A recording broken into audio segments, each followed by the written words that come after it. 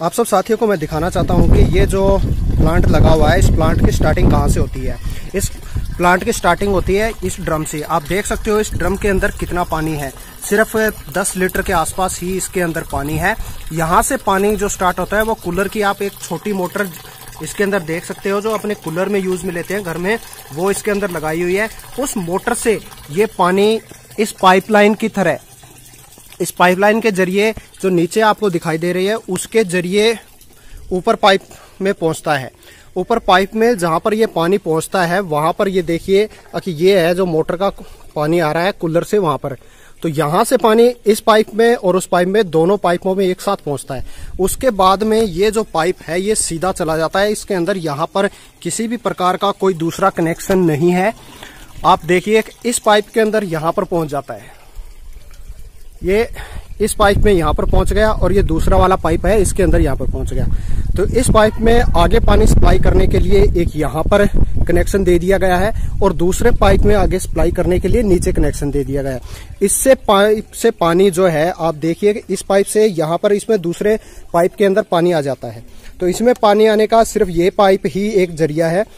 आप देख सकते हैं कि ये आधा पाइप भरा हुआ है पानी का। और दूसरे वाले पाइप में आप देख सकते हैं कि पानी आधा इसमें भरा हुआ है। यहाँ पर पानी स्टार्ट होने के बाद में इस पाइप से सीधा पानी दूसरी तरफ़ जाता है।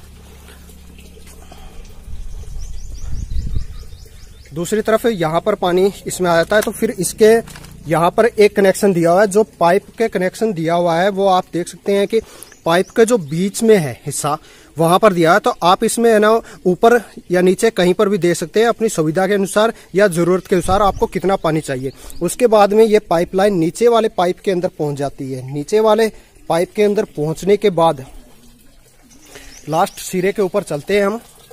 वहाँ पर देखते हैं कि आगे ये पानी कहाँ से जा रहा है।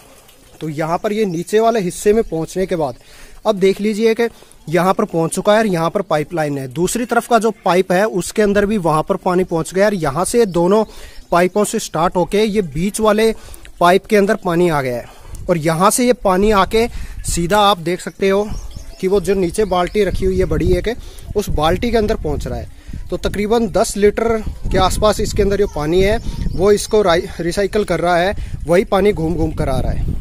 यह जब आप प्रोजेक्ट बनाए तो इसमें एक चीज़ का आपको ध्यान और रखने की ज़रूरत होगी कि जो पाइप है, वो पाइप का जो लेवल है, वो लेवल एकदम सही होना चाहिए। इस लेवल को सही रखने के लिए सूरज भान जी ने कुछ तकनीकें और बनाई हैं कि ये जो आपने ऊपर पाइप देखा हुआ है, यहाँ पर भी एक मिट्टी का कुछ लगाया हुआ है इन्होंने, जिसे आम भाषा में ठेकरी बोलते हैं घड़े की है, और नीचे वाले में पाइप का पूरा देख सकते हैं। तो इससे हिसाब से इन्होंने एडजस्ट किया है, क्योंकि इसका यदि लेवल ऊँचा नीचा हो जाता है तो लेवल नीचा होने के बाद में पानी की गति सामान्य नहीं रहती और पौधों की जो जड़ें हैं, आप इस पौधे के नीचे देख सकते हैं। अभी इसमें जड़ आई नहीं है पूरी।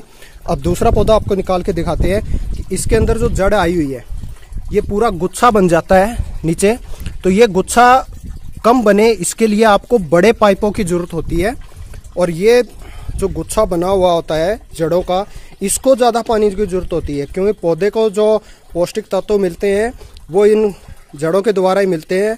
और यहाँ पर जो मिट्टी से संबंधित जो चीज़ें पौधे को मिलती हैं ना, उसको देने के लिए उन चीज़ों का घोल है, वो पानी के अंदर ही मिला दिया जाता है, वो इस बाल्टी के अंदर डाल दिया जाता है, और फिर बाल्टी के थ्रू जो पानी है, वो इन पौधों में पहुँचता है।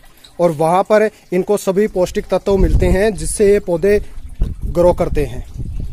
तो आप बड़ा पौधा लगाना चाहते हैं तो उसके लिए आपको बड़ा प्लांट लगाना पड़ेगा। बड़े प्लांट का मतलब है कि ये जो पाइप है यहाँ पर जो पौधे की जड़ें जितनी नीचे ज़्यादा जाएँगी, जिसकी जितनी लंबी है, उसके हिसाब से आपको उसके हिसाब से जगह चाहिएगी। बाकी और आप जानकारी के लिए हमारे साथ सूरजबान जी हैं तो सूरजबान जी से दिए गए नीचे नंबरों पर आप संपर्क भी कर सकते हैं और इनके गाँव भामासी में आकर इनसे मिल भी सकते हैं व्हाट्सएप के थ्रू भी इनसे बात कर सकते हैं।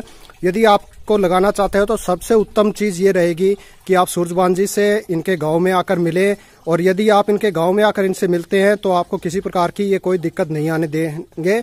ये हमारा वादा है, क्योंकि सूरजबान जी को ये प्रोजेक्ट लगाने में काफ़ी दिक्कतों का सामना करना पड़ा था। तो वो दिक्कतें आपको ना आए, ये सूरजबान जी चाहते हैं और एक सेवाभावी इंसान है, कभी आकर मिले इनसे।